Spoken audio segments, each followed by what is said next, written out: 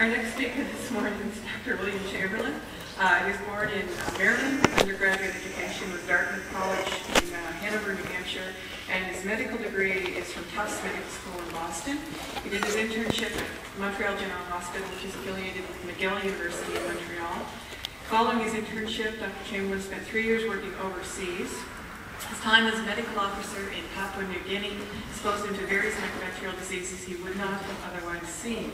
He feels his experience with tuberculosis, leprosy, and Mycobacterium ulcerans may have prepared him to more readily accept the possibility of another atypical mycobacterium uh, that could be the causative agent in Crohn's disease, a hypothesis first hypothesized 100, 100 years ago and resurrected more recently through the work of uh, Chiodini, Hermon-Taylor, and others. He did a fellowship in gastroenterology at Walter Reed Army Medical Center and completed 20 years in the service. His last at Walter Reed Army Institute of Research, uh, trying to fathom the intricacies of the immune response to pathogenic mycobacterium. He's currently a, a practitioner uh, in gastroenterology at Texas Tech University in El Paso, Texas. Welcome. Thank you. Good, thank you. Okay, yeah, I'm William Chamberlin. I've got to introduce myself. I am a gastroenterologist. I'm fundamentally a clinician. And I was asked to talk on the human um, health concerns of Mycobacterium avium paratuberculosis. Okay. Um, I will do so. Now, when I, just as a quick introduction, uh, there are different levels of biology that we can discuss things on, the molecular, the cellular, the organs, and you can read through the list up there. I mention this because it's important that when we talk about something like an infection with Mycobacterium avium paratuberculosis, which I'll refer to as MAP, um, we can talk about at which level it's, it's impacting on. Now, how are these vertical levels associated? I'm going to put a plug in right now for another passion that I have, and I welcome somebody, anybody, to come up and talk to me afterwards, and that's on the new science of complexity, complexity science, complexity theory. It's, uh, it's a concept that's, well, it's a new philosophy, essentially, of science that is um, affecting different disciplines. Really, it affects everything.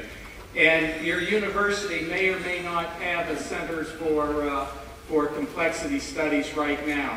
But it is a new wonderful way to look at biological systems.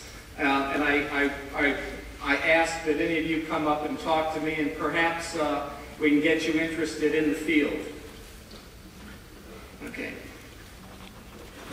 Uh, now, the level that I'm going to talk on is, is I'm not going to talk on the biosphere and I am woefully inadequate to talk on the molecular levels, although I'm trying to read on them and at least follow the discussions. I'm going to talk about the impact on the human whole organism. Um, looking at the audience, I was trying to figure out how best to, to direct this talk, and I realized that Tim Bull was going to be talking yesterday. He did a wonderful job, so I'm going to try and, and ad-lib and fit what I say into what he said and refer to a lot of the really basic raw science that he was, that he was dealing with.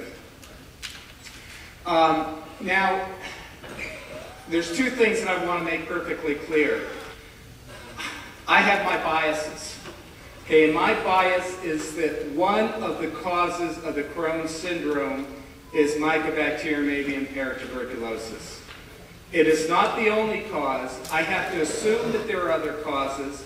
I don't have good proof that there are other causes, but it makes sense that there is, especially when you see how subjectively and loosely gastroenterologists are in, in defining and labeling patients with Crohn's disease.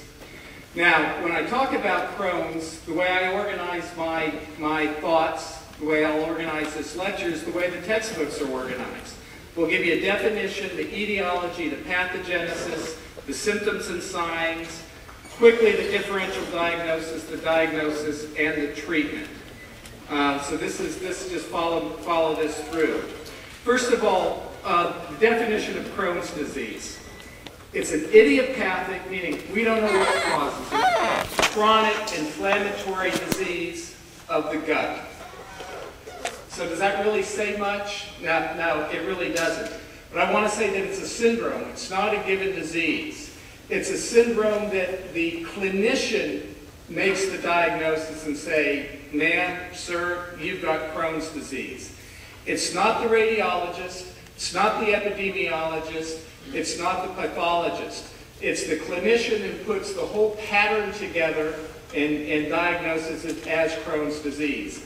As such, depending on the clinician, depending on his background, depending on his prior biases, depending on a whole host of other things, you can have a wide spectrum of uh, disease manifestations that get labeled as Crohn's. There are no specific tests for Crohn's. We've got semi-specific tests for MAP, but not for Crohn's disease. Again, it's pattern recognition. What are the patterns? Well, the patterns are somebody that comes in with clinical symptoms, and those symptoms are, doc, I'm not feeling well, I don't know what's, what's going on, very non-specific, to very, very specific of, doc, I've got this fistula and feces is oozing out the side of my abdomen. Wide, wide, wide spectrum, and that's what the, the point that I want to leave you with.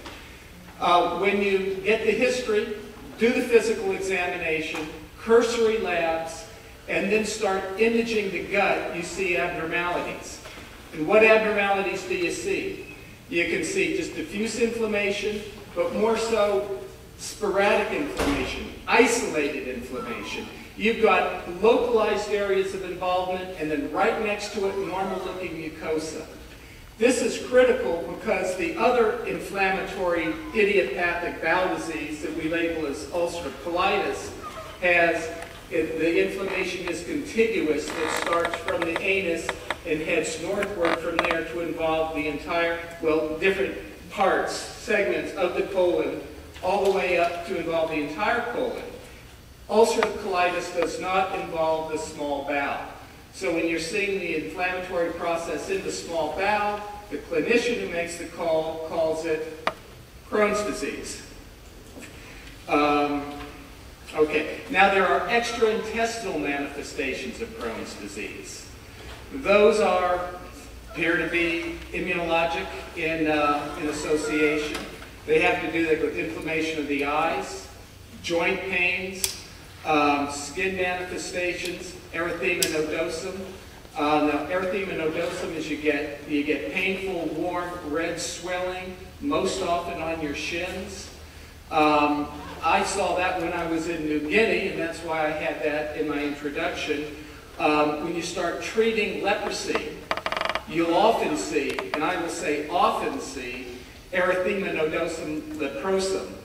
Erythema nodosum associated with leprosy as the immune system comes back, as you get a immune resurrection, if you will, with the treatment.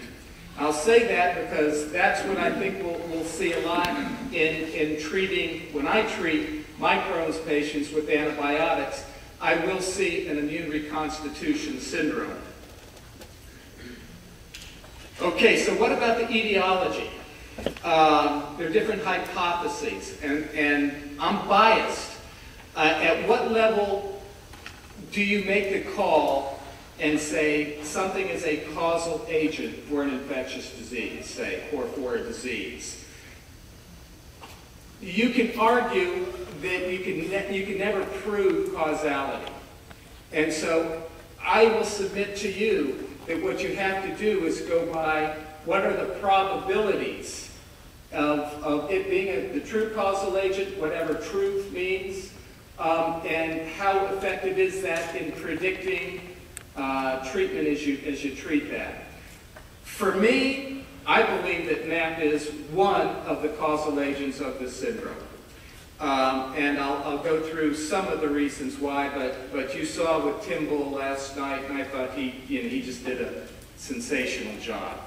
So I believe that, that MAP is one of the causal agents. In what percentage of patients, I don't know.